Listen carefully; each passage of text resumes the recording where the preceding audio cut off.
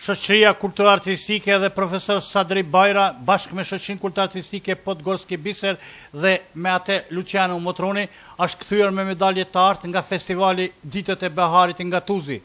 ku me këtë rast të falënderimet tha se shkojnë për Profesor Sadri Bajrën i cili është i palodhur dhe është në ruajtjen dhe kultivimin e traditës shqiptare dhe të Prizrenit si dhe përgjithësisht të kësaj ane.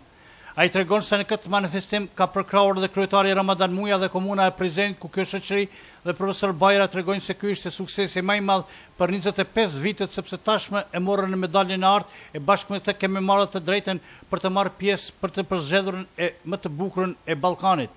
Ndërkaq ai tregon se sot ka marrë ftesë dhe nga Turqia për të përfaqësuar Republikën e Kosovës atje me rastin e Ditëve të Fëmijëve.